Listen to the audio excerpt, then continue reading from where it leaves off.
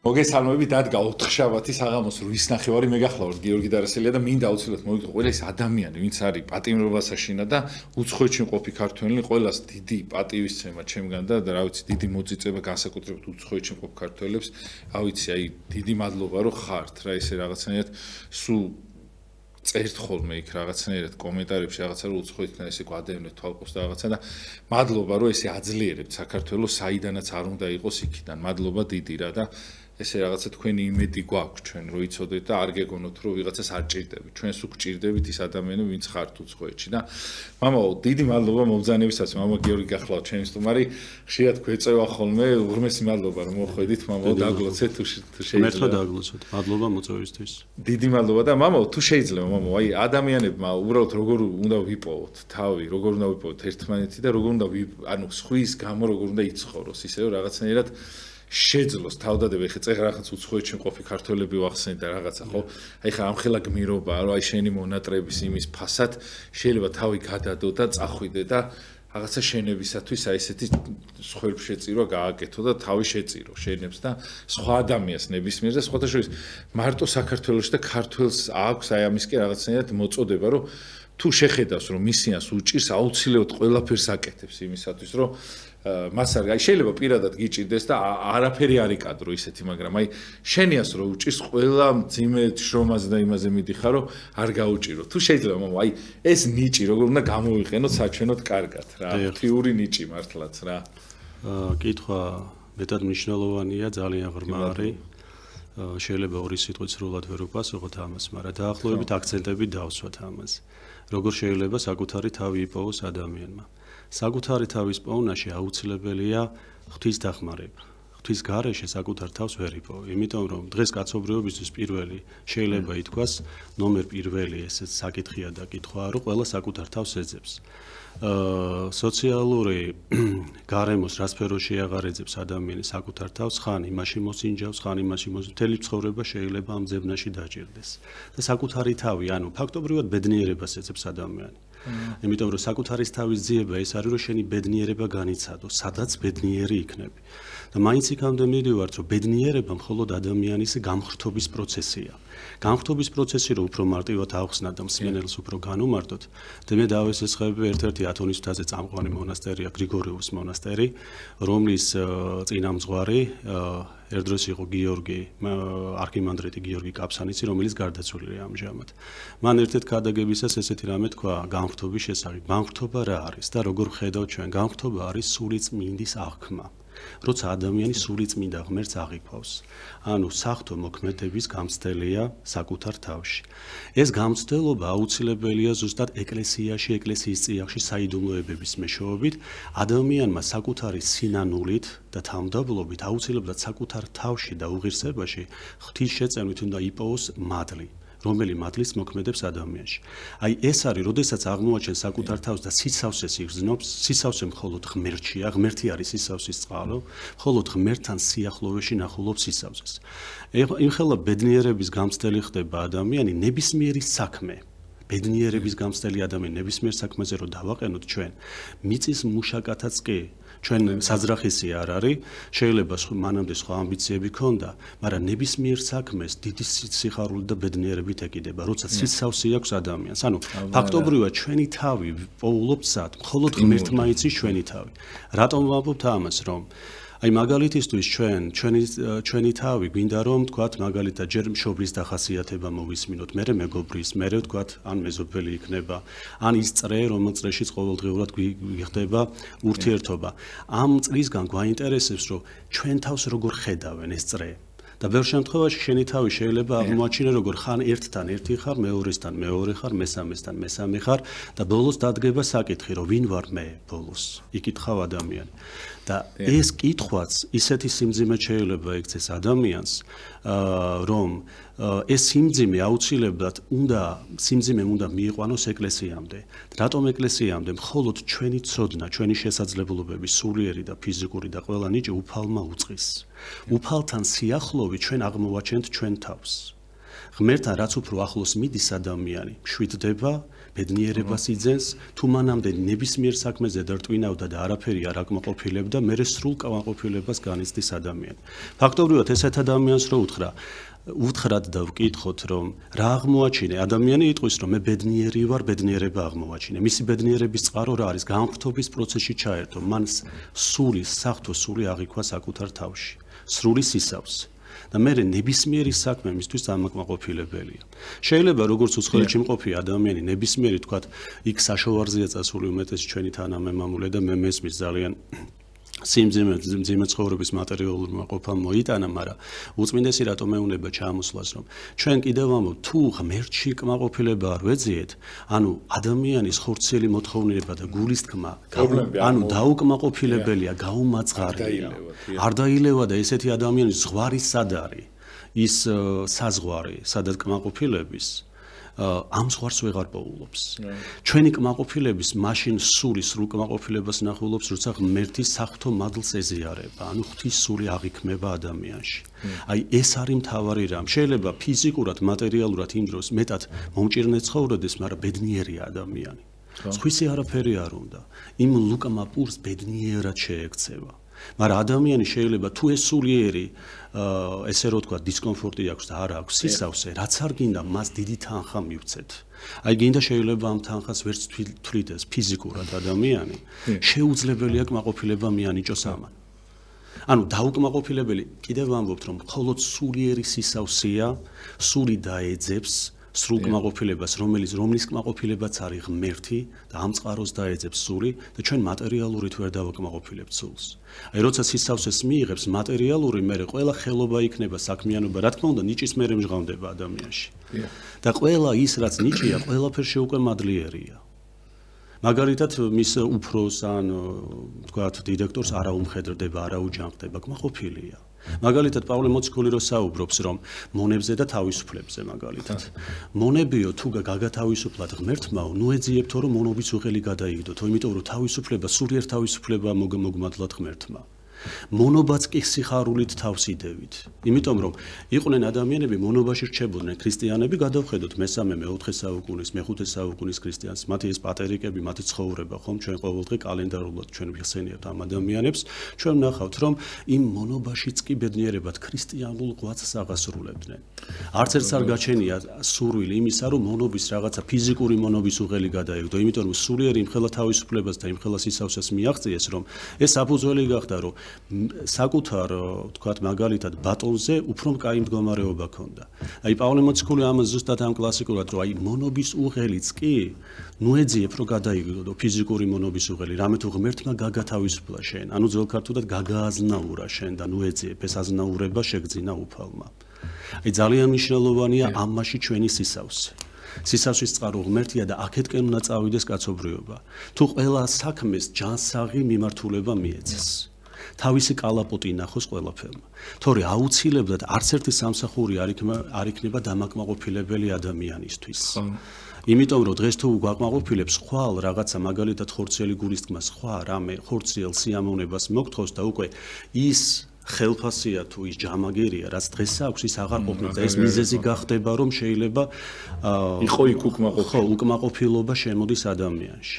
ანუ ვეღარ ჩერდება ადამიანი და ამიტომ ბოროტის ფაქტობრივად მარტივი ბოროტის განხდება მარტივად ხო დიახ დიახ მართული ესეთი ადამიანი. და თუ შეიძლება მამო აი ამას როგორ გაიქცეს ადამიანი? აი კმაყოფილება ხა აი თქვენ რას თქვით მამო ადამიანი ვერ გწნობს რა ის ნებისმიერ რაღაცა აი თუ გინდა საკვებში აიღე თუ გინდა ნებისმიერ ზომა არ აქვს ადამიანს. თუ მიუშვი რაღაცნაირად ვერ იმაშე როგორ უნდა მოთოქოს ადამიანი? აი რაღაცა ხერხი ხო არსებობს მამაურო აი მაგალითად აი რაღაცის გამო მე დავთმობ ამას. აი მაგალითად არის ხოლმე მომენტები მე სამწუხარო ჩვენ და აი უჭირ აი გაჭირვებაში მე შემდგომ ხვდებიან ხოლმე ის ადამიანები ვინც ვერ თოკავენ თავს და მე თოკავს თავს აი მაგალითად ვიღაცა შეიძლება მოხდეს სამონტყოფოში და თქვას რომ აუ ღმერთო ის რისთვისაც ხებს ვაწვა რას ლაპარაკობ აი თურმე რა ყოფილა მთავარი აი რაღაცა შეიძლება ასაკი მოგემატოს და თქვა აუ ნეტა ეხა არც ფული მინდა არც არაფერი იქ დამაბრუნა სიტყვაზე. ეგეთი რაღაც, აი რა რა მექანიზმები არის, მამო, იმისათვის და რა უნდა წამოწიოთ, წირო მივხვდეთ, რომ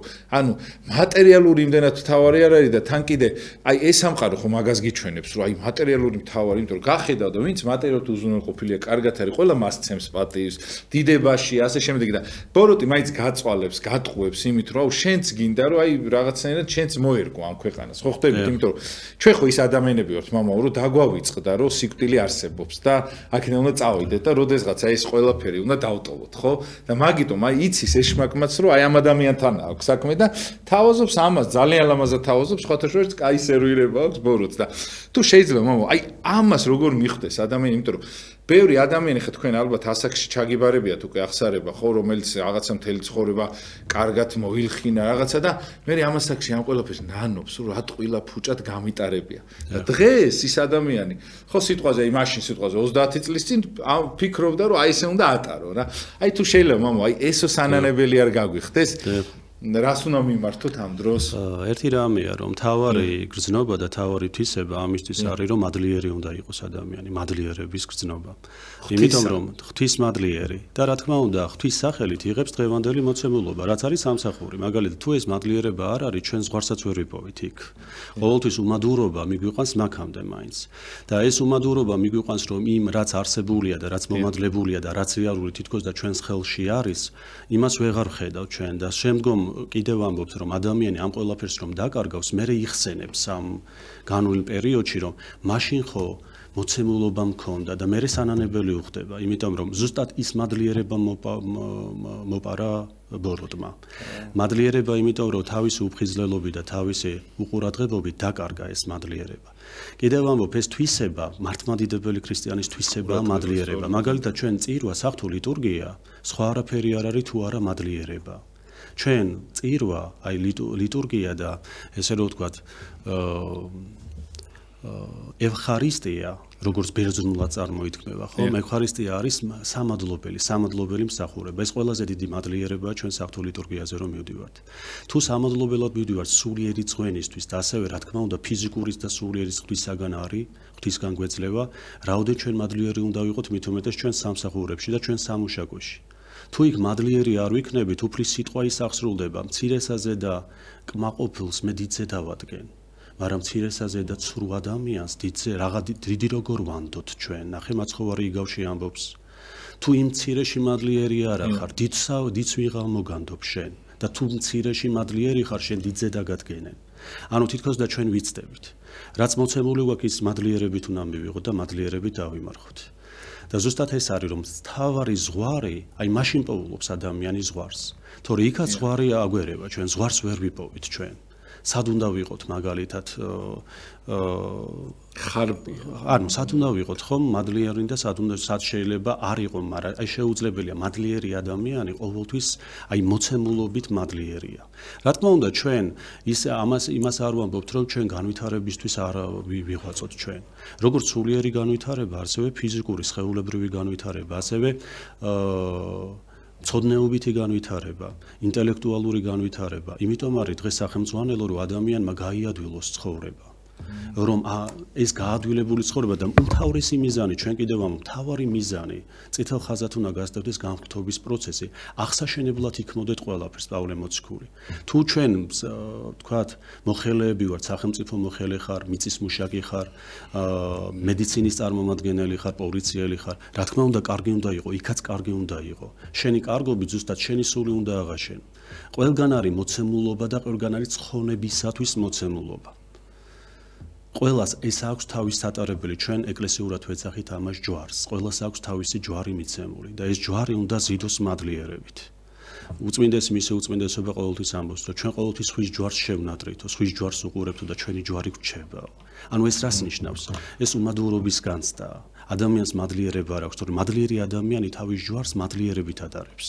და ბედნიერია თუ სხვისი ოლიგონია, სხვისი ოლიგონია, სხვისი სხვის შეიძლება უქროს ჯვარს შეხურებდეს და თვითონ ხის ჯვარი აქვს და ბოლოს ის უქროს ჯვარი ვისაც ქონდა ერთ-ერთი პატერიკია, რომ იმას ის უქროს ჯვარის ქვეშ რომ დაანახა ანგელოზმა რომ რამხელა სიმძიმეა, თქვა რომ მე მირჩევნია ხის ჯვარი ვატარო. არ მინდა მისი ოქროს ჯვარი. და მატერიალურად კი შესქეროდა იმ ადამიანის თქვა წარმატებას, იმ იმ პატივს, იმ ხელმწიფებას, რომელიც მიმადლებული ქონდა რაღაცა გარკვეულ ერზე და ასე შემდგომ. ნეტა იმას რა ამბობდა, ხო? მე ანგელოზმა თვალი გაუხილა. ნახე რამხელა ჯვარს ატარებ შენ შეძლებ, შეუძლებ რუატარო ეს ჯვარი? ყველას თავისი მოცემულობა აქვს ცხონების. და კიდევ დავესესხები წმინდა იოანე ოქროპირს, რომ ნუ განიცდი ქრისტიანო, თქვათ, გლახაკი ხარ, უქონელი ხარ, თქვათ, მდიდარი ხარ, უფალია შემყვანებელი სათესასფელში, მას სნეული შეგიყვანოს თუ ჯამთელი შეგიყვანოს, გლახაკი თუ მდიდარი, მან უწყის. ის არის შემყვანებელი და მიმღები სათესასფელში, შენ მადლიერებით გაყევი. ანუ თავარი პროცესი ჩვენ საზევსაუბრობთ სულით აღშენებლობაზე. სადაც თქვათ მოწოდებულები ვართ ფიზიკურად ამ ამ ქვეყნიური ქვეყანა, ქვეყანაში ვცხოვრობ ჩვენ, თქვათ, მოქალაქეები ვართ, რა ჯვარის და რაც პატივი, თქვათ. ჩვენი შესაბამისად, ნიჭის შესაბამისად დაგვეკისრა, ის მადლიერებით უნდა ვატაროთ. უკმაყოფილო არ უნდა იყო, რომ ამაში უნდა ეძებო შენი ბედნიერება. და აუცილებლად თუ კიდევ ამბობ ნიჭი, როგორც იმ როგორც ერთი ნიჭი გაამრავლა და ორი ტალანტი გაამრავლა, თუ დაგინახავ ერთმა ამრავლებ და მადლიერებით ამრავლებ, 10 ტალანტი მოგეცემა კიდევ. კიდე სხვა რამეზე დადგინდები ადამიანი. თუ დღეს სოფლის გამგებელი ხარ, სიტყვაზე ვამბობ და სოფლის წინამძღვარი ხარ, უკვე ქალაქის, დედაქალაქის წინამძღვრად დაგადგენს. იმიტომ რომ იქ პატიოსანი იყავი და იქ პატიოსნეთ ღვთის სახელი და ღვთის მადლიერებით ძიდე ეშوار ეს ნიჭების მერე ჩანს და თვითონ ადამიანი პოულობს აკუზარ თავში. ესე ისეთ საქმე შეეჭიდო რომ თავიდანვე ვერ მოზომო, თქვათ შენი ძალები ძალებს აღემატებოდეს. ისეთ საქმეს მერე შეიძლება შეიკდიმო ადამიანმა. სირცხვეული სირცხვეული გამოხვიდე, როგორც იგავშია, ხო? აი ადამიანმა საძირკველი დასდოცო და ბოლომდე ვერ განაშენოსო, ხო? მერე სირცხვეული ადამიანები შემხედარებიო დაცინვას დაუწყებენ, რომ საძირკველი დასდო და ვერ დაასრულა შენობაო, მაცხოვარი ამბობს იგავს. ან ადამიანი, თქვათ 20 20000 კაცი მოდის და 10000 კაცით უნდა შებრძოლება.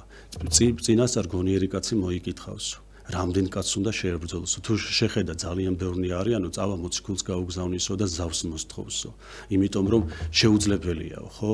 ანუ შეტაკება, იმიტომ რომ მარცხანიცდის. ამიტომ გონიერება იმაშია, რომ შენ აქ გვეუნება ძალები მოსინჯე. აქ სულის ცხონებაზე საუბრობს. სულის ცხონებისთვის შეიძლება ვიღაცა მონოზნობაში ხედავს, აი მონოზნობით მინდა ვიცხოვრო, მაგრამ კარგად ვერ გმოზომოს ძალა. და მონოზნობაში ვერ გაამართლოს ადამიანმა. ამაში ზუსტად ამ მოზომაში და ძალაში თუ ეხლა მოძღვრის გამოცდილებაც არის თავისი ეს გულწრფელობას და გახსნილობას, რა თქმა უნდა, ეხმარება მოძღვარი, რომ მისი ძალები კარგად შესაძლებლობები კარგად გავზომოთ და გავსინჯოთ. მოძღვარი ძალიან მნიშვნელოვანი ადამიანის ხოვრებაში. ნებისმიერი საკითხისადმი. რომ როგორც მრჩეველია მოძღვარი და არ ამბძანებელი, უბრალოდ მრჩეველი ვარ ჩვენ, რომ აი კარგად დაანახო, იმიტომ რომ თავის შესაძლებლობებში არის რომ ჩვენ თავზე უფრო მეტი წარმოდგენა გვაქვს ხოლმე ბევრ შემთხვევაში. და და ამ დროს აი ობიექტურად მოძღვარი დაგიჯდება მშვიდად. რა თქმა უნდა, მოძღვართან პირველ რიგში ნდობა უნდა იყოს და მოძღვარი რო რჩევას მისცემს, ის რჩევა კიდევ ამბობ, როგორც ღვთისგან მიიღებს, რა თქმა უნდა და ეს რჩევა გადაარჩენს ადამიანს. ხომ აი რა დონეზე უნდა იყოს ადამიანის წარმოქმნა თავ მის თავზე ხა? მე ვიცი რომ ხა რადიკალურად რო აცაგებენ ეგეც მინდა ხოს მის თავს რომელიც მიუღებელია ჩემთვის და კიდე არის რომ რაღაცა ძალიან მოსწონ და ძალიან ნარცისობენ ხო? აი შემთხვევაში აი როგორ უნდა დაარეგულიროს ეს ადამიანმა? ისე რომ ღვთისათვის იყოს მისაღები და ლამაზი იმიტომ რომ არც ერთი ვარგა და არც მეორე რა ან კონკრეტულად რა სფეროზე ამბობთ? აი ასე თვითონ აი ადამიანის წარმოქმნაო თქვენ რო თქვით აი ნამეტანი მეტი ახსო და მოძღვარი რომ მე ურეგულირებს რა ამ შემთხვევაში რა. აი ამ შემთხვევაში როგორ უნდა მიხვდეს რომ სიტყვაზე მეტი აქვს ან როცა იმდაბლებს ძალიან ამეტნაოთ იმდაბლებს და ხიბლშია. პარიან რომ რაღაცა ნამეტან სიმდაბლებში გადადიან როგორც უფრო ხიბლისკერო მიდის რა ხო და აი აქ როგორ უნდა ნახო ოქროს შუალე ეს სხვათა შორის ძალიან მარტივია თუ ჩვენ საერო სამსახურებს შევეხებით როდესაც არა იქ მოთხოვნა თავის შესაბამისი და როცა ახლა ადამიანი თქვა იმ მოთხოვნებს მოთხოვნების მაგალითად 30%-საც ვერ აკმაყოფილებს ბუნებრივია რა შეიძლება თვითონ ესე რომ თქვა რისკზე წავიდეს გარისკოს რომ იცი რა 30-ით და მე 30 30 შევძენ და ასე შემომ თქვა რაღაცა მიენდოს ესე რომ თქვა მაგრამ მოძღვარმა ურჩიოს შეიძლება რომ ეს შეიძლება ვერ გაამართლოს. სიფრთხილე უნდა ყოველ შემთხვევაში. მისი შესაძლებლობები, მისი ცოდნიდან გამომდინარეც, ხო? ანუ ადამიანს რომ გონია, რომ რაღაცა ცოდნა აქვს, აი მოძღვარმა შეიძლება უთხრეს, რომ ეს ამ ცოდნას შენ ხო არ შეჭიდებულ ხარ, ჩემო ძმაო, ჩემო კარგო. რატო გონია ჯერ? ანუ რატო ვამბობ იცი რომ ჩვენ ყოველთვის განსხვავებული და უფრო მეტი ამბიციური ჩვენ თავზე უფრო დიდი წარმოდგენები გვაქვს ხოლმე. და არის ხოლმე რომ აი ჩვენ უბრალოდ როგორ როგორ ანუ შეიძლება რა გვატყუებს და რითი შეიძლება მოტყუდეს ადამიანი რომ აი ხედავ რომ იმან თუ შეძლო მე ვერ შევძლებ. აი ეს ამბიციებია რომელიც კიდევ ვამბობ ეს მტრისგან არის ჩაგონებული. და კონკრეტულ საქმეზე, საქმე საქმეზე რომ მიდგება, თავის უძლურებას აღმოაჩენს. აი როგორც მაგალითად პეტრე მოციქულმა აღმოაჩინა უძლურება, რომ მაცხოვრმა უთხრა, შენ ხო ფიქრობ, რომ დადებ თავს ჩემთვის, მე გეტყვი. ქათმის, ანუ ხმობაზე, ორგზის სამგზის ხმობაზე, სამგზის უარყოფ მე. პეტრე ანუ შესაძლებლობები კარგად იცოდა უფალმა. ფაქტობრივად სრულად ჩვენი შესაძლებლობები უფალმა უწყის. ამიტომ პეტრე ბოლოს ეუნება, ხომ? აი, როდესაც კუდრეთი დაამდგარი მაცხოვარი, ისევ პეტრე მოციქულს ეუნება, გიყვარ ვარ მე პეტრე? ანუ სამგზის ეკითხება. ორგზის პასუხობს, მესამე გზის ეუნება, შენიც უფალო. რომ მიყვარ ხარ მე, რატო ეუნება? შენიცი შესაძლებლობები, მე შეიძლება ვთქვა, გითხრა მიყვარ ხარ, მაგრამ მე შეიძლება ვწდებოდე ამაში. მაგრამ შენ გიტოვებ იმას, რომ შენ უფრო კარგად იცი ჩემი სრული შესაძლებლობა სიყვარულის ხარისხიც, რომ აი ეს შენ უფრო კარგად უწყი. მაინც ადამიანები სადმიდივართ მოძღვარი, მოძღვარმა სრულებით კი არის ის ამ ადამიანის შესაძლებლობა. მეტნაკლებად დაეხმარება, მაგრამ მოძღვარი ამ ადამიანს ურჩევს, რომ ისევ ხმერთ შევთხოვოთ ლოცვით. რომ ამ მოცემულ საქმეში, წინამდებარე საქმეში, რამდენად შეიძლება შეეჭიდოს ადამიანი. გულხურვალე ლოცვა აუცილებლად ნიშანს, ნიშანს სასწაულს გამოავლენს. ნიშანის სასწაული მითითება იქნება, მკაფიო მითითება. რომ ამ სამსახურს შეუძლებს ადამიანი რომ იტვირთოს, განა რომ ვიტვირთო ანუ ზიდო შეუძლებს ზიდვას, ვაჟებშაულა ეს დედის ამაგზე ლაპარაკობს, ეს სიტყვა მაქედან მოვიტანე, რომ დედის ამაგი განუზომელია, რომ შეუძლო ტვირთა განა შეუძლებ ტვირთვასო, დედის ამაგისო გადახდასო. ვაჟა ამბობს და. აი მაგეთო ამბობ რომ აი ზიდვა ეს ტირთვის ზიდვა რამდენად შეძლებს ადამიანი ისიც კიდევ ამბობ რომ ღვთის წინაშე მოწიწები და სიყვარული თუნა გამოითხოვოს ადამიანმა და მოძღვარი რა თქმა უნდა ლოცულობს ამისთვის. დიახ დიდი მადლობა მამაო და თუ შეიძლება მამა აი ჩვენ თვითონ როგორ უნდა ვიპოვოთ და როგორ უნდა მივხვდეთ ჩვენი უძლურება რა აღიარება ყოველას უჭირს ძალიან და თან რაღაცნაირად აი სუსტი ადამიანი ამაში თქვენ მე მესმის ადამიანებს ვინც ამბობს რომ იმან რო შეძლო მეც შევძლებ. ანუ ამ შემთხვევაში შეიძლება რომ რაღაცა მაგალითად აიღო რომ ვიღაცა ცხონდა და მიყვე აი რატო? ხო აი ხა ამბობენ ხოლმე მამები გეუნებიან ჩვენ რაღაცა მაგალითად მოყავს ხოლმე რომ აი ის მოციქული იყო ის მამაოა მაგრამ მოდელი გეუნება ხოლმე მე რა მოხდა? ის მერე გახდა ამ სიმაღლეზე ხო? ის თავიდანო შენაირი იყო სიტყვაზე. აი ამ შემთხვევაში მამა აი ჩვენ როგორ უნდა როგორ უნდა ვინუგეშოთ ამით თავი? აი ვიღაცა ადამიანებით ეხლა ვიღაცა მაგალითი ხო უნდა ქონდეს? ეხლა აი მაგალითად ჩემი ყველაზე დიდი მაგალითი რაც კი ჩემ სიცოცხლეში საერთოდ რამე თვის გადამიხედავს თვალი არის ჩვენი პატრიარქი ხო? აი კი, ეხა ვიღაცამ რო თქვას, ეხა მაგას ვერ შევედრები, ცხოვრებაში არის ერთი 20 ჯერო ვიცხო, დავიბადო კიდე, მაგდენს ვერ გავაკეთებ, რაც მან რაც მან საქართველოს გაუკეთა და მთელ ერს, მაგრამ ხო უნდა მივბაძო, ხო, აი თუ და იმან თუ შეძლო, მე ვერ შევძლებ თქვენ რო თქვით, წეღან. აი ამ შემთხვევაში მამაო რა დონეზე შეგვიძლია, რომ ხიბლში და იმაში არ ჩავარდეთ, იმიტომ რომ ბევრი ადამიანი მაგალითად რელიგიურათაც გადაუცდება და ზოგი რაღაცა არასწორლოცვებს კითხულობს, ზოგი ვიღაცას კურნავს, ზოგის გონია რომ სახში მირონდენა არის და ასე შემდეგ. ანუ აი ამ შემთხვევაში და ბევრი ტყუდება მე, იმიტომ რომ გონია თუ რაღაცნაირად ისინი დაფრინავენ, ხო? ამ შემთხვევაში აი როგორ უნდა იმას ვქნათ, რა ქვია, როგორ უნდა ვიცოდეთ, რა, ღვთის შეულებს როგორ უნდა შევედაროთ, ან რაღაცა სამაგალითოდ როგორ უნდა მივიღოთ. ეს ყველაფერი თავის ნორმებში, რა თქმა უნდა და არ გადაგვიცდეს, იმიტომ რომ იმხენა ფანატური ჯგუფები ჩამოყალიბდა, რომ საშიშიც არის კიდე და ზოგიერთი ხა რაღაც ნუ სექტებია ძალიან ბევრი რა. თემ სოფლიოში არ მაქვს მე იმაზე, ნუ საქართველოსში ყველაზე ნაკლებად ეს, მაგრამ. დიახ. ეს საკითხი მთელი წმინდა მამათა გამოცდილება და ტრადიცია ერთ რამეს მიუთითებს. ეს არის საკუთარი თავის უნდობლობა. უნდობლობა. როცა ადამიანი საკუთარ თავს არ ენდობა და ანუ მორჩილებით მიყვება ეკლესიის მითითებას.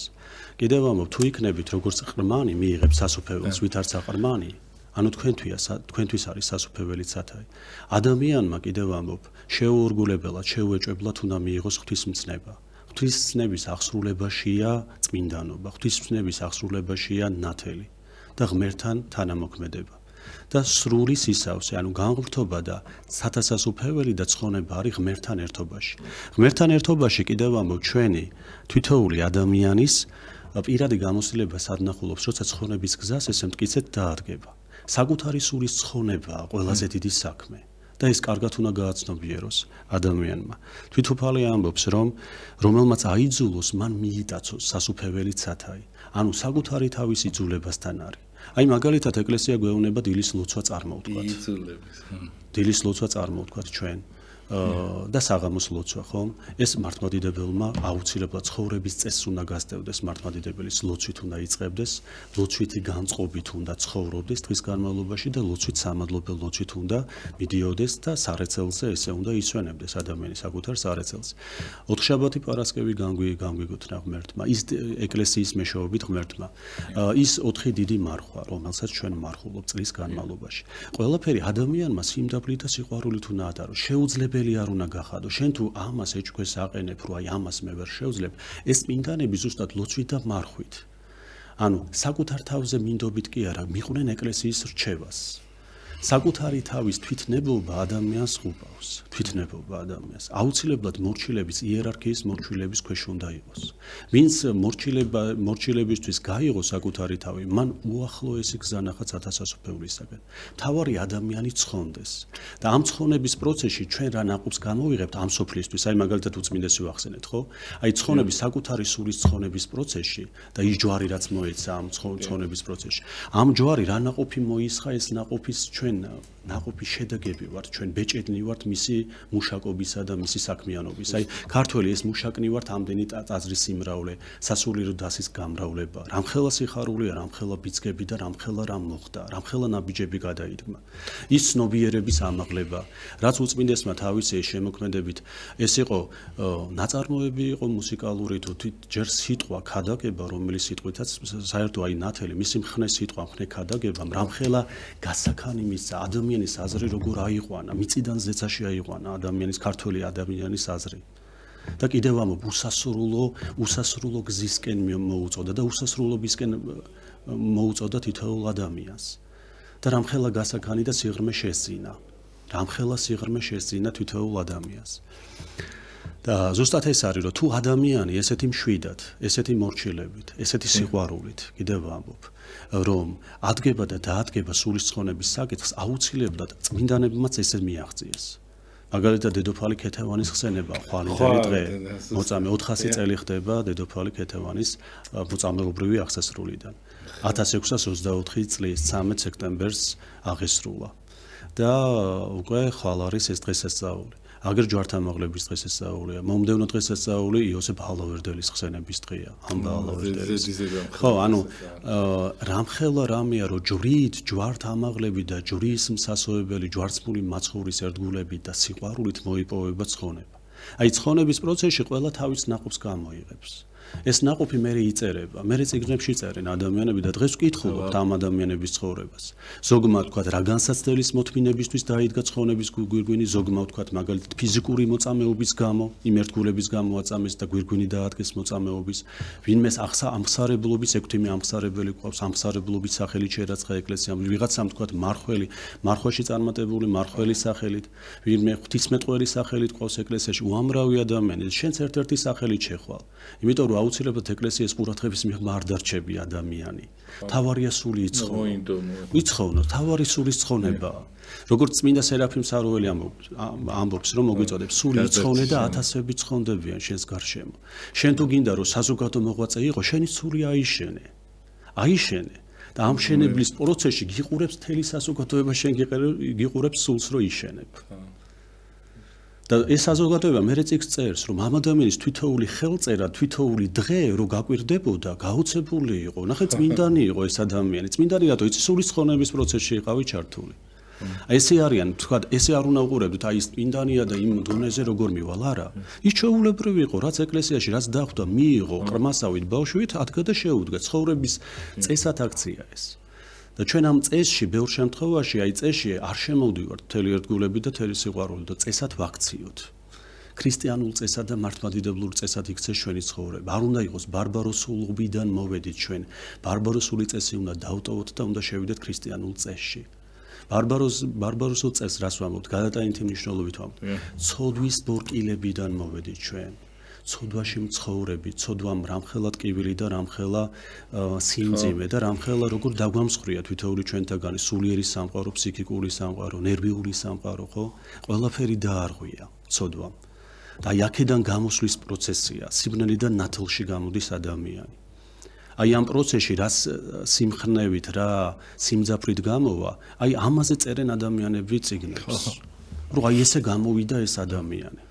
კეთილ წამებულზე გამაი ყველაზე რა ვიცი ჩემს ქართველი ყველაზე ნომერ პირველი ერთ-ერთი წმინდანი არის და როგორი ის არის რომ აი რამხელა ტკივილი და რამხელა რაღაცა შეიძლება დაითმინო თუ შენთვის ნიშნელოვანია რაღაცა და ღვთისათვის თან მით უმეტეს და როგორ შეიძლება ეს ყველაფერი გადაიტან რაღაცა აი აუტანელი ტანჯვა და ტკივილი ხო როგორია და უნდა შეძლო მამო ეხა ბევრს ეხ თქვენ რომ ამბობდი წეღან მაგაზე გამახსენე ხა ბევრს ალბათ ხელი აქვს ჩაქნეული ამ ცხოვრებაზე რომ რაღაცა ზოგს აი მე არ შემილია მე ვერ გავაკეთებ მე ხო ეს არა ვარ ეს არა ვარ ხო?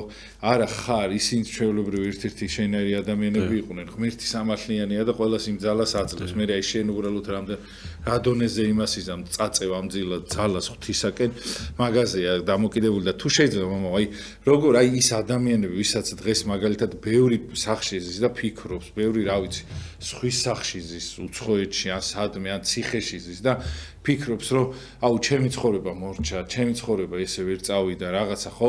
აი ამ ადამიანებს რა შეიძლება ნუგეშათ რო უთხრათ, იმიტომ რომ აი მათზე უარესი გაიარეს იმ ქეთევან წამებულიდან მოყოლებული, წმინდა გიორგიდან მოყოლებული. აი წარმოიდგინეთ ახლა აი ამათ შეიძლება ისეთი არაფერი დაუკარგოთ, მაგრამ წმინდა გიორგიმ და ამ ადამიანებმა მთელი დიდება და ის დაკარგეს ამ ქვეყნიური პატივი სპეციალურად თელი თავის შეგნები და შეეჭიდნენ წარმოიდგინე თელი წამები და იმით აი ზეცას თუ შეიძლება მამო აი ეხა ის იმათაც ხო შეიძლება ეთქვათ რომ საპყრობილეში აი ყველაფერი დაუკარგე რაღაც აი აი აქ როგორ უნდა გამოხვიდე და აი მე როგორ უნდა გაანათო აი პარასკევის მერე როგორ უნდა დადგეს ისევის კვირა ის აღდგომა. თუ შეიძლება იმიტომ რომ ჯვარცმა ჩვენ ცხოვრების მანძილზე გარდაუვალია მამა ყველა ცხოვრებაში არ არსებობს ეხა ვიღაცა შეიძლება შენატრიდე მაგრამ ისიც ჯვარცმული იქნება როდესღაც იმიტომ რომ შანსი არ არის ამ ქვეყნად ეხა ვარც უეკლოთ ვერავინ ვერ წვეთს თუ შეიძლება მამაო აი ამასთან დაკავშირებთ აი როგორ ინუგეშონ იმა და იმიტომ რომ საქართველოსში მithumetes მამაო ძალიან რთული ვითარება არის ამ ხრივ რომ ცუდად არის ადამიანი და თან მადლიც რაღაცნაირად გამოგველი აი არ ყოფნის მამაო ძალა აღარ ყოფნის ადამიანს რომ ის ტკივილები და ის დაიტიოს. თორე დღევანდელ ადამიანს რაც ჭირს მამაო 10 საუკუნის წინ ადამიანი აი ამ რაღაცეებით შეიძლება ბედნიერი ყოფილიყო აი ჩვენ რაზე წუხვართ მაგალითად ხო? შეიძლება აი ამით 10 საუკუნის წინადელი ადამიანს ეთქვა რომ აუ ეს კონდესო და ოცნება თქონოდა ის სიტყვაზე ხო? თუ შეიძლება მამა აი როგორ უნდა დაუძლიოთ ეს დუღჭირი და ურთულესი ცხოვრება? აი ესეთმა სუსტმა ადამიანებმა თორე. შეიძლება ცხოვრება თვითონ ისეთი სუსტი არ იყოს. რამდენადაც შენ არა ხარ ამ ცხოვრებისთვის მზად. და ეხ ამ კითხვაში პასუხიც ჩანდა და თქვენვე თქვით რომ ჯვარცმა ჯვარცმა რომელშიც აღდგომა უნდა განჭრიდოს ადამიანმა ჯვარცმის დროს ხედავს ადამიანი მხოლოდ კივილს იმ უბედურებას მილურსმებას და იმ დამცინავ გარემოს რომელ გარემოში ჩვენ უფალი ჩვენი იესო ქრისტე იყო. მაგრამ ზუსტად იესო ქრისტეში აღდგომა. აი ეს დაინახა ჯვარცმულმა ავაზაკმა მეორემ ვერ დაინახა. არის ორი მიდგომა. რომელ მხარეს დადგები? ამ წუთა შეიძლება საპრობილეში იყოს ვინმე. ან თქვათ, არ იყოს საპრობილეში ფიზიკურად, მაგრამ შინაგანად ძალიან ძიმე აზრები აქვს და ძიმე ტკივილი აქვს და თქვათ ამ გამოსავალს ეძიებს. აი რომელ მხარეს დადგები? მიუხედავად ტკივილში იყო და ჯვარზე იყო და ისიც ესეთ ტკივილს განიცდი და ტკივილში აღდგომის, აღდგომის სიხარულმა ტკივილი შეუმსუბუქა. არა მხოლოდ შეუმსუბუქა, ცხონება სამოთხეში აღიტაცა უფალმა. უღურეთ საიდან სად მოხვდა ადამიანი? ანუ ტკივილიდან შენი კეთილგონიერი შეხედვი და აღდგომის სიხარული რომ განჭრიდო აი ამ ეს გიმსუბუქებს ყველანაირ ტკივილს. დღეს პატიმარი ხარ მე არაერთი პატიმარი როცა უწმინდესის კურთხევით შევსულ ვართ არაერთი პატიმარი გვინახავს ჩვენ. იმ საპატიმროში თქვა საფრთხე ლიტურგია აღვივლენია რომ პატრიარქის ლოცვა კურთხევით შევდივართ ხოლმე. მოძღვრები რომ მათთვის ეს სულიერი ნუგეში ყოველთვის იყოს ეკლესია ყოველთვის ზრუნავს, ანუ ღმერთის ზრუნავს თითოეულ ადამიანზე ძვირფასია, ხვდებით და ეს ეკლესია უკვე ღმერთის ზრუნა ეკლესიით, ეკლესიის მეშვეობით აღესრულება. უბრალოდ უამრავი პატიმარი უნახე ბედნიერი. იმიტომ რომ ზუსტად ამ კივილში ამ პატიმრობაში იპოვა ზუსტად ის სიხარული რომ არა მამაო მე ამ საპატიმროში რომ არ შემოსულიყავი მე ამ ბედნიერებას ვერ ვეზიარებოდი რა ბედნიერებას ღმერთთან განვიცადე ანუ შენ საიდგები აი ზუსტად ჯვარცმისის სცენა წარმოვიდგინო და ყველა აზე ყველა ჩვენთაგანმა ვიცით რა შეიძლება აქ ამ მხოლოდ ქრისტიანზეც არ არის არა ქრისტიანმაც იცის ჯვარცმის სცენა გაუგია მაინცა აი ზუსტად ეს არის, იქ ძალიან დიდი საიდუმლო აღესრულა და ძალიან დიდი საიდუმლოთ იმოცულია. მეტნაკლებად მამემა გადმოგწეს, მაგრამ ვინ ჩაწვდება ამ საიდუმლოს ჯვარცმისას? მაქსიმე ამხსარებელი ამბობს, ჯვარცმის საიდუმლოს თუ ჩაწვდა ადამიანი, აღდგომის საიდუმლოსაც გაიგებს. ნახეთ რა რა სიმაღლეზე აყავს მორწმუნე ადამიანი. რატო ამბობს, რომ აღდგომის სიხარული თუ არ განჭრიდა ადამიანმა და აღდგომას თუ არ მიაქცია ყურადღება, ჯვარცმის ტკივილს ვერავინ ვერ გადაიტანს გიორგი. მე მესმის თითოეული ადამიანი შეიძლება დაარეკოს და იმ ტკივა ესეთი სიმ სიმძიმე მაქვს, განსაცდელი მაქვს. მაგრამ ზუსტად იმ ტკივილში, იმ ტკივილში სიმსუბუქე შემოდის, როცა აღდგომა შესქერი ხარ და მოიმედე ხარ. იმედია, რომელიც ადამიანს დააძლევს. მე იმიტომ გითხარით, თქვენში გაჟღერებული იყო ეგ პასუხი. ზოგადად რაზეც ვლაპარაკობდით. შეიძლება ეს მე განვავცე, მაგრამ ორი სიტყვით იყო ნათქვამი, მაგრამ ზუსტად მე ამან მიბიძგარო ზუსტად ჯვარცმის სცენა ეს გამ, იმიტომ რომ ჯვართამაღლება რა ორ დღეშია რა და შემთხვევით არ არის. ჯვართამაღლების დღესასწაული ფაქტობრივად განიმარტა ეხლა. და ისე მამა ის არის ხო საინტერესო ის არის რომ შემდგომ ყველა აი რაღაცნაირად მაცხოვრი მე რომ მოდის ანუ აი ხო აღდგომის კვირა მოდის რაღაცა მთელი სასწაული სიხარული არის შენთვის რომ აი რაღაც თითქოს ჩაქრა შუქი ამ ჯვარცმის შემდგომ უცბად მოდის ამ ხელა რაღაცა და პირ მაინც ადამიანს ახსენებს თავის ნალურსმებს, мама, აჩვენებს, ხო? აი ამით მოდის, რომ მე კი აღდგომ არის, მაგრამ აი ამის ფასად იქნებაო და ეს ჩვენ ყოველას უნდა გვახსოვდეს, ეს ადამიანებს ავიწყდებათ ხოლმე, мамаო, რომ შე შემთხვევაში გონიათ, რომ მარტო აი ამ ტკივილში რჩებიან. არა, აი ამ ტკივილს აუცილებლად მოყვება, გამონათება და აი ამ აი იმის ფასად აუცილებლად მოვა აღდგომა და სამუდამო სიხარული რომელიც რისთვისაც საერთოდ გავჩდით. არ არსებ აი საერთოდ არ ვარსებობდით და არ არსებობდით კლასიკური მაგალითია. ზუსტად კიდევ ერთი რომ ჩვენ თქვ აი აღდგომას ვეხები და ვინმე თქვას რომ ხორშესმული ღმერთი იყო და მან თქვათ კი ამაზე ვსაუბრობთ ჩვენ ავაზაგზე ვსაუბრობთ რომელიც ჩვეულებრივი ადამიანი იყო. ის მაცხოვარი ჩვეულებრივი სრული კაცი იყო და სრული ღმერთი იყო მაგრამ აქ ჩვენ შეგვიძლია წმინდა წერილი გვეხმარება იობ მართალის ცხოვრებას რომ გადახედავს კარგად დავინახავთ ჯვარცმას ამ ადამიანს. კი, მისი სიმძიმე განსაცდელისა, რომელი ადამიანი შეიძლება იყოს იმ ან განსაცდელთა წება, რაც ამ კაცზე მოიწია. უბრალოდ ამ ადამიანის ხორებაში დაინახავ განსაცდელის პერიოდს ამ ადამიანის რამდგომარეობაშია და როგორი მოიმედია მიუხედავად ადამიანურად ტკივილის უკიდურეს ტკივილებში იყო. ფიზიკურად, მატერიალურად, გზნობის მიერად ათიშვილი ერთ დღეში დაკარგა. ყველანაირი მხრიდან დარტყმა მიიღო, უკიდურესი დარტყმა მიიღო. და ჩვენ ვნახულობთ მისმა იმედრმა ორმაგი მოისხა, ამავე ქვეყანაში მოისხა. აქვე კი აქვე მიიღო, ვიდრე სათასასუფეველისთვის, ანუ მაგალითად სათასასუფეველში გავიდოდ. მაშინ კი არ იყო სათასასუფეველი, მაგრამ მართალთა წიაღში დაიმკვიდრებდა. და მართალთა წიაღი პირველი აცხოვნა მაცხოვარმა. აი აბრაამის წიაღს რო ვეძახით, აბრაამის წიაღი ყველა ის ადამიანია, რომელიც მართალთა სულები, ან მართალის სული იმით არის, რომ რომელსაც მართალის სარწმუნოება და მართალი იმედი ქონდა. ამ იმედით ჯერ მაცხოვარი მოსული არ იყო და მისმა იმედამ რამხელა განსაცდელი ღირსეულად ატარა. ჩვენ რო ამას გადავშლით, ჩვენი განსაცდელი არაფერი არ არის იმასთან შედარებით და ესეც სიმშვიდეს და იმას გვრის ადამიანს. იტყვი რომ მე როგორ უკნესი ვარ ამის ქვეშ ადამიანმა ამდენი ჩვენაინმა, ჩემნაინმა ადამიანმა ამდენი დაითმინა. ესე ძალიან დიდი ნუგეში იქნება გიორგი. იმიტომ რომ ადამიანმა აუცილებლად უნდა იკითხოს ესეთი წმინდანების შესახებ ძალიან დაეხმარება. ხო, ძალიან. ჩვენ ცხოვრება ძალიან შეეწევიან, ძალიან შეემს ძალიან შეამსუბუქებს. ესეთ პატარა რაღაცებზე აღარ დავიწყეთ დეტყვინვას. აღარ დაიწყეთ. დეტყვინვას აღარ დავიწყეთ. ძალიან ისე შეხვდები სიხარულით. აი, ცილის წამებას მაგალითად კიდევ ამბობ, რომ აღარ გაგაბოროტებს. როცა როგორი რთული მოსათბენია ცილის წამება. ესლობა. და უკვე ადამიანი კიდევ ამბობ რომ უკვე ბუთფინები და ძალიან დიდი ფსიფსუბუქი შეუდგება ამ განსაცდელების ზიდვას. ესე მამო ერთს აი რაღაც ჩევა ჩემილია რომ ჩემ ჩემეს მივცე ისეთი რომ აი თუ იქ არის ხოლმე რაღაცა ეხა მე ანუ მე როგორი ის მაქვს აქვე ამის მიმართ რომ რაზეც ღიზიანტები მამო ის ყოველთვის მოდის ხოლმე რა. აი ბოროტმა იცის რომ აი მაგალითად მე თუ ცილის წამება რაღაცა რომ დაგამცირებენ სიტყვაზე გამაღიზიანებს ეს აუცილებლად მოვა და თუ მე არ მაღიზიანეს მაგალითად თუ ვიღაცა დაგამცირებს ვიღაცამ შეიძლება რაღაცა ცილი დაგწამოს რაღაცა დაწერ ამაზე თუ არ ამახვილებ ყურადღებას არასდროს არ მოდის იცით? ნუ მოდის მაგრამ ეთქო ვეღარ ამჩნევ რა.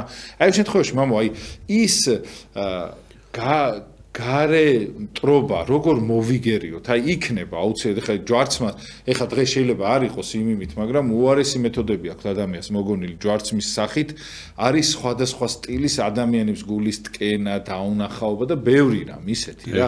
პირდაპირ მართლა გლურს მნავენ რა ზოგიერთი ადამიანთან, აი რომელიც გონია რომ აი იმისთვის გაჩნდა რომ ერთხელ როგორ მახსოვს რომ ერთ ადამიანთან მივედი და მშობელს ძალიან ცუდად ექცეოდა და მეთქი ერთხელ ეს არ ვიცი რა საიდან მომივიდა ეს აზრი როცა და რო დაიბადა იცი როგორ უხარო და მეთქი შენი ის თქო და დღეს მეთქი იცი როგორ მეუნებოდა რომ აი რო არ გამჩნეოდა რა ბედნიერი იქნა წარმოვიგეთ მამა საიდან სად მევიდა რა რომ აი რო დაიბადა ეს ადამიანი უხარო და ამის დაბადებას აღნიშნავდა და უცბად რადიკალურად შეცვლილი ყველაფერი სურათი და აი ბოროც რა შეუძლია რომ სადამ შეიძლება მეიყვანო თუნდაც ხანდახან არის ხოლმე მამა რომ დაშორებული წვილი რომ პირველ წელს ძალიან ლამაზები რო არიან და რო ცილდებიან მე ერთმანეთზე რას რამდენ სულს დაუქს ლაპარაკობენ ხო?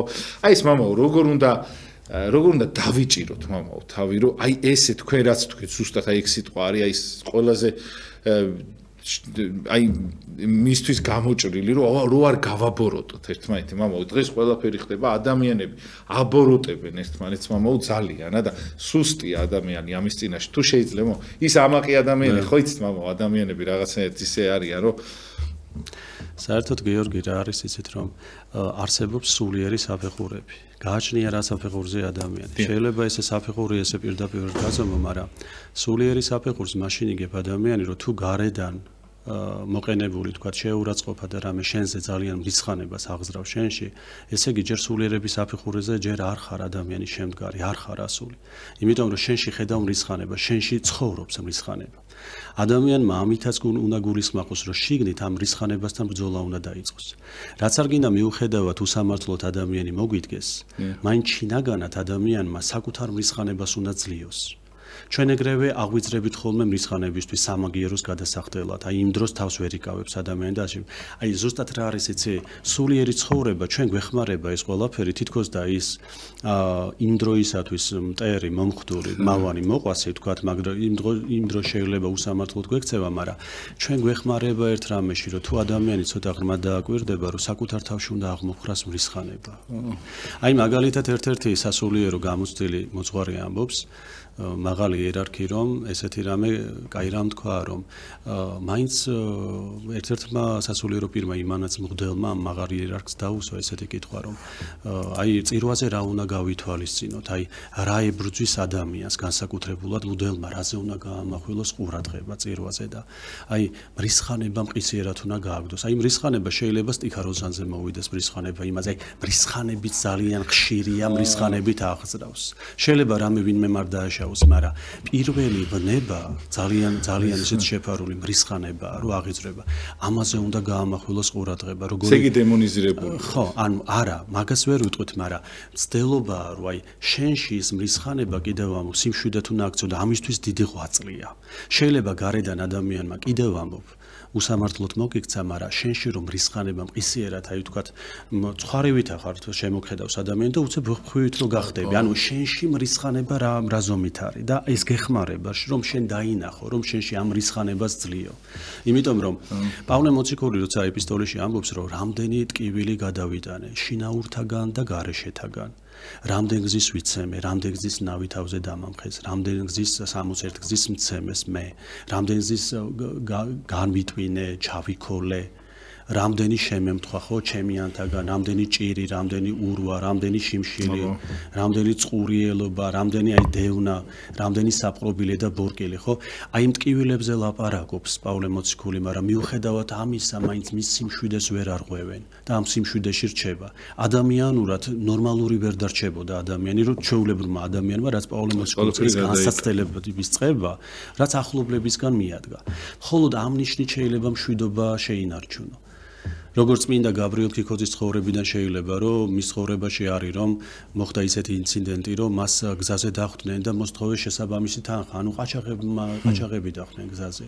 და რო ვერაფერი ისეთი ვერ ნახეს სასარგებლო მათთვის სასარგებლო და ეგონათ რომ მას ეკნებოდა მატერიალური რაღაც სიმდიდრე და მასთან ვერ პოვეს. მე ფიზიკური არა სიტყვიერი შეურაცხყოფა დაიწყეს. მაგრამ ამ ადამიანის სიმშვიდე ვერ დაარღვიეს. და ამ ყაჩაღებიდან ერთი პედაგოგი გამოვიდა ერთი სასულიერო პირი გამოვიდა. მის სიმშვიდე მოდემ ვერაფერი ვერ მოახდინეს. ამ ადამიანში ანუ შეურაცხყოფით ვერანაირად ვერ შელახეს ადამიან. ანუ მრისხანება იმ დონეზე ვერ დაძრეს ადამიანში რომ შელახულიყო. მისმა ეს საოცარმა სიმშვიდე და სიწყნარემ ეს ადამიანები მთლიანად შეცვალა გადაუტრიალა ცხოვრების წესი. და ზუსტად ჩვენ უსწმინდესე ამბობენ რომ აი სულ ამბობს ხოლმე ლოცვაში რომ სიმშვიდე დავითის სიმოგმადლე უფალო სიმშვიდე და პატრიარქისთვის განსაკუთრებულად პატრიარქში ეს მრავალსათნოებათა შორის არის მძაფრად ჩანს პატრიარქში სიმშვიდე რომ უწმინდეს რა არ გადახდომია და მის სიმშვიდეს ვერ არღვევენ. ანუ როგორც ერთ-ერთი ცნობილი მონასტრის წინამძღვარი ვატოპედის წინამძღვარი ამბობს ესეთ სიტყვას რომ ეს სიმშვიდის გიგანტიაო გიგანტიო სიმშვიდის გიგანტიაო რაღაცა ისეთი სიტყვა ანუ უკიდეგანო უსაზღრო რამეს გამოეხატა ეს მრავალსათნოებათა შორის რო ეს სიმშვიდე უწმინდეში ეს განსაკუთრებულია. რომელმაც რომელმაც განსაკუთრებულად ამ სათნოებით ატარა ეს ჯვარი. რომ არა სიმშვიდით მიდგომას აი პატრიარქმა იმ ხელა ტკივილები და იმ ხელა წინააღმდეგობა გადაიწერა ადამიანის დღევანდელი ადამიანისთვის ურთულესია ურთულესია და აი პატრიარქის ჯვარიც ამაში უნდა დავინახოთ რამ ხელა ჯვარს ეზიდება ერისა და ზუსტად ეს არის რომ საკუთარ თავში უნდა ვძლიოთ ამ რისხანების იმას ხარისხს. ამ განვითარების ეტაპებს სხვათა შორის წმინდა იოანეს სინელშია გადმოცემული. შეურაცხმყოფელი რომ შეურაცხყოფას გვაყენებს ჩვენ თავში როგორ უნდა დავინახოთ რა მდგომარეობაა ჩვენ თავში. თავდაპირველად გეუბნება რაღაც ხუთ ეტაპს გამოყოფ. შეიძლება ზუსტად ვერ გავიხსენო ეს ეტაპები, მაგრამ კარგად აქვს მას თავისი კიბეში გადმოცემული, რომელიც აღწერა მონოზნობის თხოვნით. რომ აი პირველ რიგში ენას კბილი დააჭირეს. შინიდან თუ რისხანებ ძალიან, გარეთ არ გამოვიდეს რისხვა. მომდევნო ეტაპია რომ ენაზე კბილის დაჭერა აღარ უნდა დაგჭირდეს თუ შეურაცხყოფა მიიღე ეცადე რომ ეს მრისხანება ენაზე აღარ დაგჭირდება შინაგანით არის და შინაგანაც ცდილობ რომ შეში დაიდიო მრისხანება და უკვე მომდევნო ეტაპია რომ შეიძლება შეურაცხყოფას გაყენებს და რისხვა აღარ აღიზრება შენში. და მეოთხე ეტაპია შეურაცხყოფას რო გაყენებს რისხვა აღარ არის და შენ უკვე თანალმობა გაქვს. გეცოდება ადამიანი და იწყებ ლოცვას ხო აი უყურე რაღაც ეტაპებია. ეს მარტივი არ არის როგორ შეიძლება არ გავბოროტდეთ როცა შეურაცხყოფას გვაყენებს. და ღმერთმა ეს სულიერება სულიერი სიმხნევე და ძალა მისეს ერს ჩვენს ერს თვითოულ მორწმუნეს ვინც იხთვის სულის ხოვნებისთვის და ის მეთოდები რაც მინდა მამემა გადმოგცეს ეს არის გამოცდილი მეთოდები და ყოველს გამოგვეყენებინოს. თუ მართლა ცხონები ცხონება გვინდა ჩვენ. ყველაფერი მოცემული გვაქვს ჩვენ.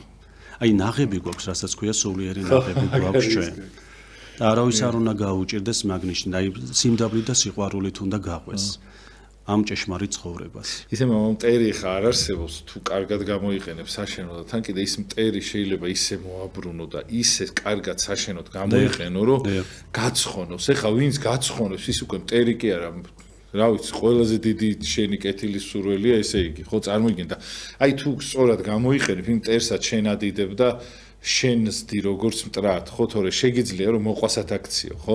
ოღონდ ანუ არის რაღაც იშვიათი გამონაკლისები, მაგრამ ამ შემთხვევაში მომოი მტერი მაინც ჩვენთვის აი ამ კაცობრიობაში ვინც კი არის, მაინც მის უკან ყოფი ბოროტი უნდა წარმოვიდგინოთ, ხო?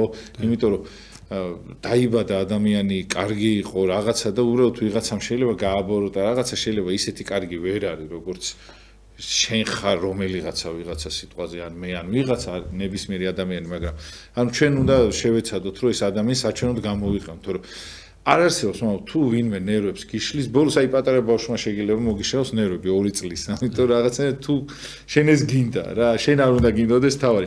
მაგრამ დაგლოცე ცე თუ შეიძლება და რას გვისურვებთ კიდე და უფალმა დაგლოცოთ. სულის ცხონებას სულის ცხონებას და ამ ცხონების საქმეში აი სიმხნევეს და შემართებას და რა სიყვარულს რა სიყვარულს და სიყვარულით გვეტარებინოს ეს ყველაფერი რა დიახ, ძალიან დიდი მადლობა, მამა, მოვიკითხა თქვენი ტაძრის მოძღვრებს იმ ადამიანებისაც, აი, მართლა დიდი სიყვარული და პატივისცემით ჩემგან თქვენი მრევლის ხოთაშორის მომოდიახონ, ძალიან კარგი და ლამაზი მრევლი ყავთ ესეთი. შვიდი და დინჯი და დიდი მადლობა ამისათვის მამაო. დიდი მადლობა მოვიკითხავ დიახ თქვენი მადლობა მოწვევისთვის. რასაუთ პირიქით მამაო, სუხშირად აუცილებლად მოგიწვევთ ხომ, იმიტომ ისე გვიყვარს თქვენ საუბრები თქვენთან და თან ბევრი მწერს ხოლმე თქვენ შესახებ და მადლობა ამისათვის. მე კიდე გემშვიდობებით იქით და სამშაბათს დაგიმნებით საღამოს რვის ნახევრისათვის და ოთხშაბათს და კვირას ეს გადაცემები გავა განმეორებით. ფონდი ერთობა შეგიძლიათ მოიწონოთ. მე გახდით გიორგი დარასილია ხვალ არა ხვალ არა კვირისათვის გავა კიდე და ყველა იმ ადამიანს ვინც გასასწრებში ხართ ბედნიერება და სიხარული მინდა გისურვოთ წარმატებებს გისურვებთ კარგად ზანდებოდეთ დროებით